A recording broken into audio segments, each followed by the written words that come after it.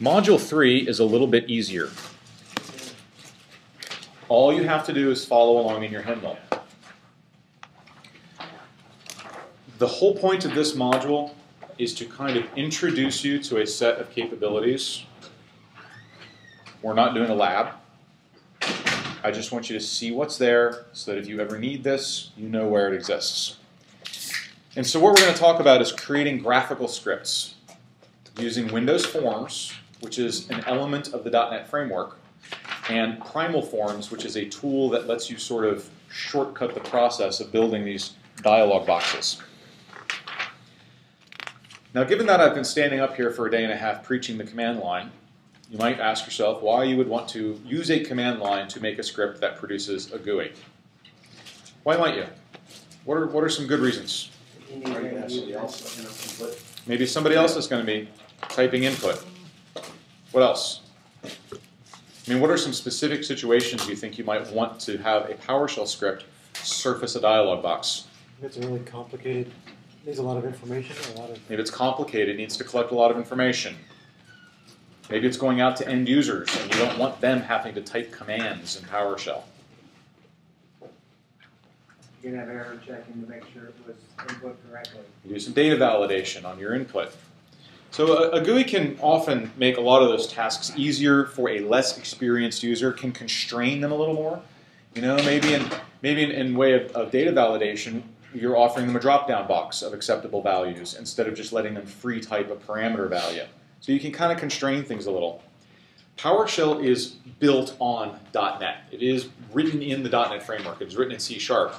The .NET framework has an entire subset of itself that is designed to build GUI apps. Those capabilities are completely accessible from within PowerShell. There's two ways to go about doing it. One is to sit down and laboriously hand construct the code necessary to create a dialog box, set the border style, set the size, set the title, create a button, set the size, set the title. Or you can get a utility that lets you sort of drag and drop all those bits together graphically, and then it spits out the PowerShell code needed to make your script. That's what Primal Forms is. There's a free edition of the tool. It's called Primal Forms Community Edition. There's also a commercial version, and Sapien ships it with several of their, their product bundles. So they have a, a Primal Script Universal and a Primal Script Studio that both include Primal Forms. Have you ever seen a developer creating a dialog box in Visual Studio? Anybody? Right? So you, you drag the little button from the toolbox and you resize it with the mouse and you click the properties box to change the title of it or whatever else.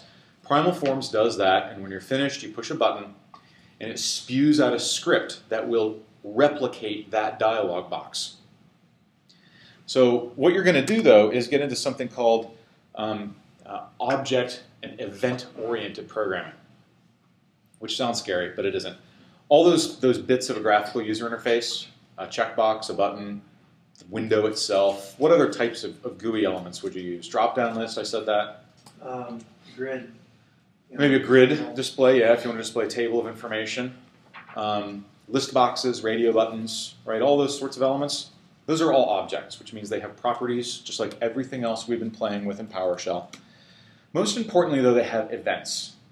So when you drag your mouse pointer across a dialog box in Windows, let's say it's a control panel applet, you're firing off hundreds and hundreds of events. Every time you move the mouse over something, like you move the mouse over a button, Windows tells that button, he moved the mouse over here, he's touching you, he's touching you, he's touching you.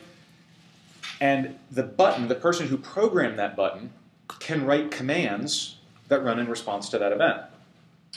So with regard to a button, what's the one event you really care about? What does someone do to a button that you might Press. be interested in? Press. They On click press. it. What do they do to a checkbox? Yeah, What the- click. Yeah, it turns out that most of the things you're usually really interested in involve click. Everything else is just the mouse flying around the screen. You know, if you want things to like glow and change color because someone moved the mouse over them, then there's an event for that as well. But clicking is what we normally care about. So within Primal Forms, you can click a button and say, I would like to tell you what commands to run when someone clicks you. And so a little editor opens up, like the ISE, and you type the commands that you want to run in response to that button clicking. And when you spew out the final script, all that is in there and it all happens and it all works together.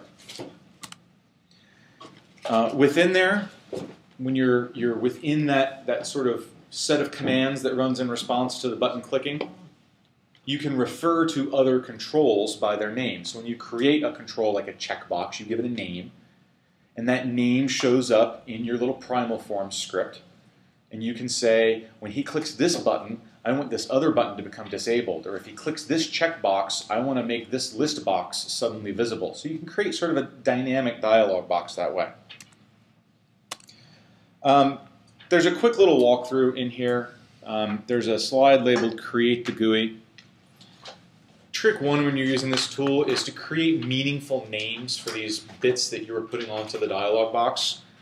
So if I've created a big text area where I'm going to put results, name it results, just to help make it easier to keep track of the thing when you're trying to refer to it. You can see here uh, the next one, Add Commands to Events, that I've right-clicked an OK button. I've selected the Edit Default Event menu item. And then I'm just putting in the PowerShell commands that I would run when someone clicks that button. So it's kind of a vaguely wizardish type of thing. On the event scripts slide, you can see that I'm referring to a, a control by its name. So dollar sign and then the name that I gave the control. And then I'm changing the properties of the control. So here I'm taking that dollar sign results, that's the results text area you saw me create two slides ago, and I'm just changing its text property to say running service pack blah blah blah blah blah. To test it from within Primal Forms, you just click the Run button, you can see that my little dialog box that I programmed, get service pack version, has popped up. I've typed a computer name, I've clicked OK, and it tells me that it's running service pack 0. Once you're finished, you export the whole thing out to a file. And you're done. That's it. It's all over. You've created a script. Now another option, and somebody asked about this before we really started class on the first day, is to package it. Packaging takes a PowerShell script, turns it into an executable, an exe file, puts an icon onto it, lets you wrap alternate credentials around it if you want it to run under alternate credentials, and you can distribute that as a semi-standalone thing. It still needs PowerShell on the target machine in order to run, but all the user has to do is double click it, and they don't have to know it's a PowerShell script. It's all mysterious and magic and black boxy. And it can run under alternate credentials. And you can have, have other little data files that go along with it if you need to. You're not going to be building the next version of Microsoft Word this way. So I know that's what everybody was hoping for. Um, you're pretty much going to be limiting yourself to a single dialog box application or script that is has some short utility purpose. Uh, if you need to write a big multi-dialog box Windows application, you need to go get yourself a copy of Visual Studio and a developer or two. That's not what PowerShell is for. This is just sort of to wrap a simple, simple, simple graphical user interface on top of a few PowerShell commands. That's kind of its limitation.